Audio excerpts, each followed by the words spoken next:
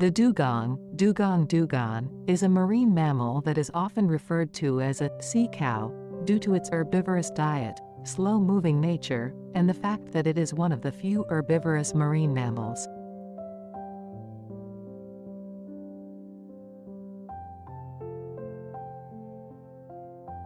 Dugongs are found in warm coastal waters from East Africa to Australia, including the Red Sea, Indian Ocean, and Pacific Ocean.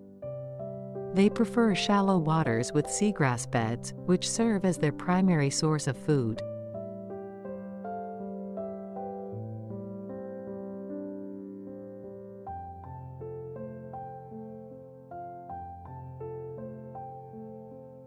Dugongs are large marine mammals with a streamlined body and a tail fluke similar to that of a whale.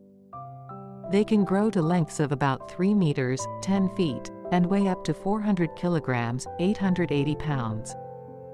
They have a fusiform body shape, a small dorsal fin, and a downturned snout.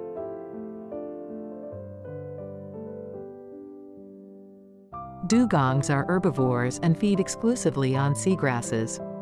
They use their muscular upper lip to uproot seagrasses from the ocean floor, and their strong, bristle-like, and widely spaced teeth help grind the seagrasses before swallowing.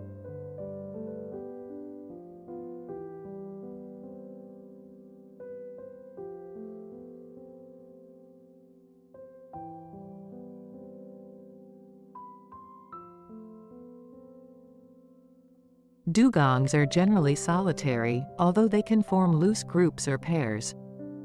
They are known for their slow and graceful swimming, often near the water's surface. Dugongs can stay submerged for up to six minutes but usually surface more frequently for breathing.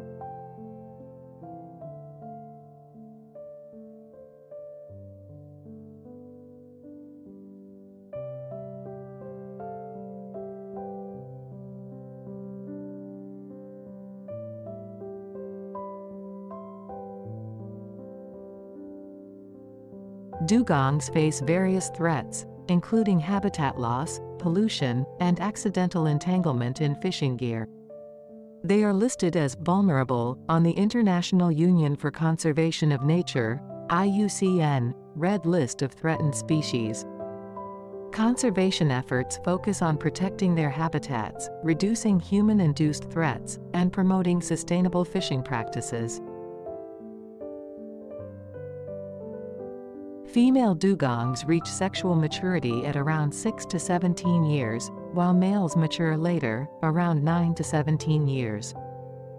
The gestation period is about 13 to 14 months, and a single calf is born. The mother and calf maintain a close bond, with the calf depending on the mother for several years.